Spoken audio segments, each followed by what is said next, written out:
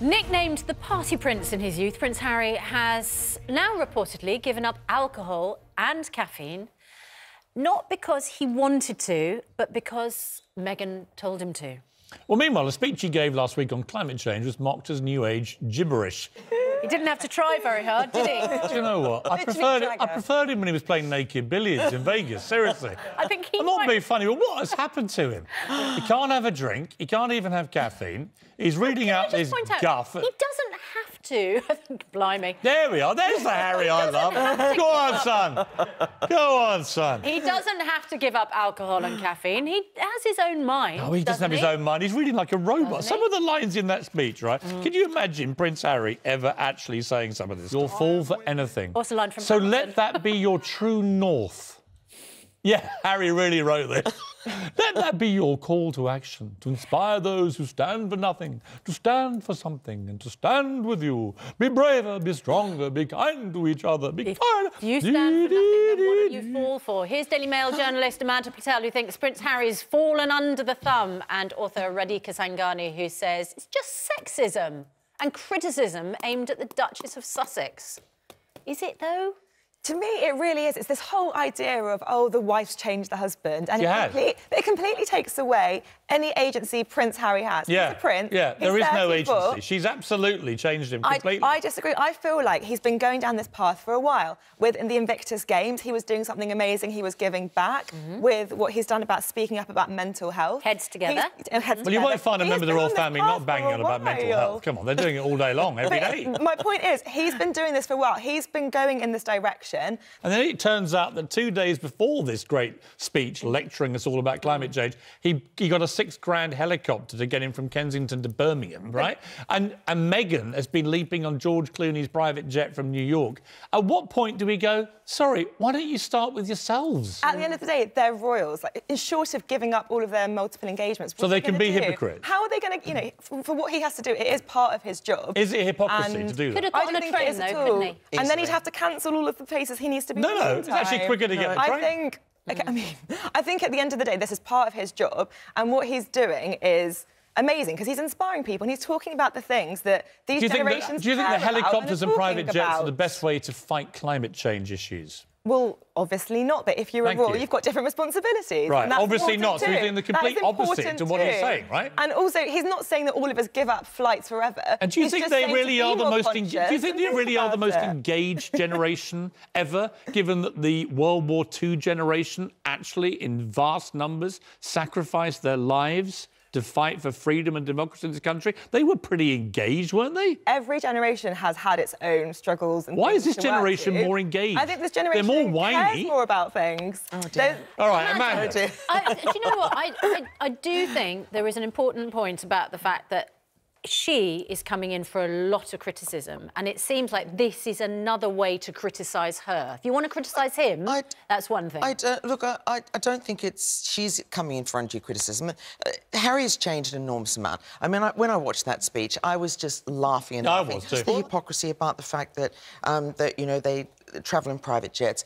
Meghan spent more than a million quid. In, she hasn't even been married a year, just on her clothes. And she's supposed to be an eco warrior, and yet fashion is an even bigger plastic producer. And I mean, and funny enough, she- than, aviation she- and shipping put Right, the other day she- So it's like, where, where are you coming from? Well, on International Women's Day. I, I would And- say this about Meghan, right? She's obviously a smart person. I, I don't know her, she's smart, right?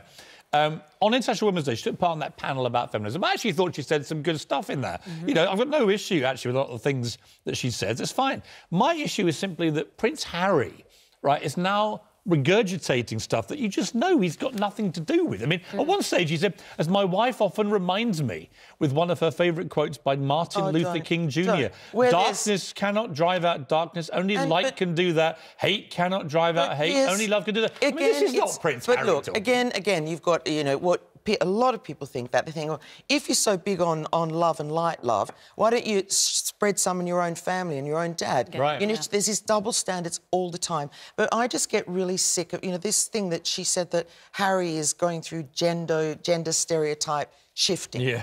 He's becoming a feminist. The two most beloved royals, I would say, were the Queen Mother Mm-hmm. and the Queen, neither of whom really ever say anything. About anything. Never complain and never explain. Never complain, never explain, and rarely be heard speaking in public is the mantra of the royals for for a hundred years. It's made them beloved. It's made them figures of what we feel are of empathy, of security, of safety, something calming about the royals and the way they conduct themselves.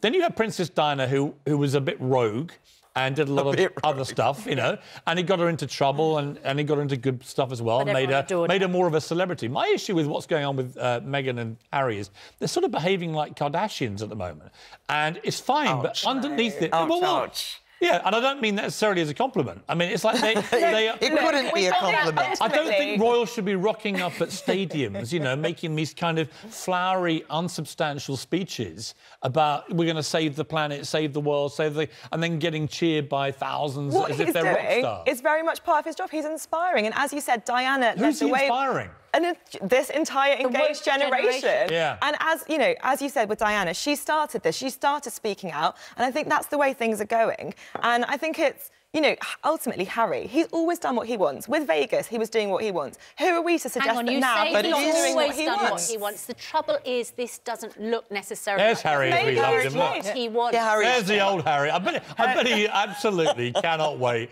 to one day do that again. But my point He's just is, desperate, is isn't that he probably feels this on the inside. You know, I, I'm, I'm part of this generation. It's impossible to scroll through But I look Tinder at without William. seeing I look at William and. Kate. Yeah, but I look He's at a William and Kate, and so- Amanda. Sorry? Look at William and Kate, and they just conduct themselves, I guess, in a slightly more traditional way. They're the future king and queen of the country.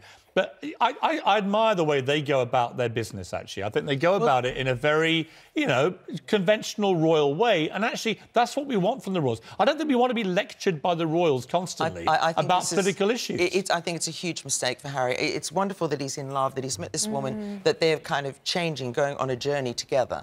But Millennial speak. uh, going on a Even the journey word together. journey I is know, I vomit just- making. Can you believe you said that? But, but remember, Diana famously said that she never worried about William because he was sensible and he was bright.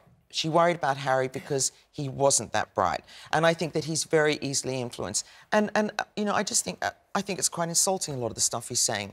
You know, we're the ones who care. We're the ones take the hypocrisy Aside. I aside. thought that whole thing about this It's- this is the most engaged generation. Only this lot, insulting. only this lot care about saving the world. It's, like, it's fine. How are you actually going to save the world? Here, Harry, you don't save the world when it comes to climate change and conservation and stuff by jumping on helicopters every two minutes. You don't save it by letting your wife jump on private jets owned by George Clooney. That's hmm. not how you save the Do as planet. I say, not That's as I actually do. how you damage the planet. But you, you can't do both. this by spreading awareness and by talking about these things, which is what he's doing. Maybe, maybe, and it may be. Here's the thing I may have to consider.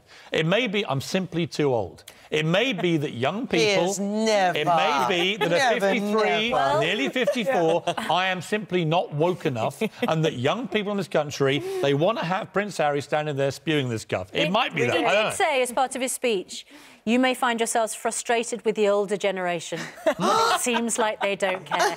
Try to remember, said Prince Harry, that don't not know. everyone sees the world the way that you do. I don't know. That doesn't mean that they don't care. I just know I grew up around, for example, I grew up around very strong women. My mother, my grandmother, two of the strongest women you'd ever meet, right? They just, this kind of guff, they're like, what is this?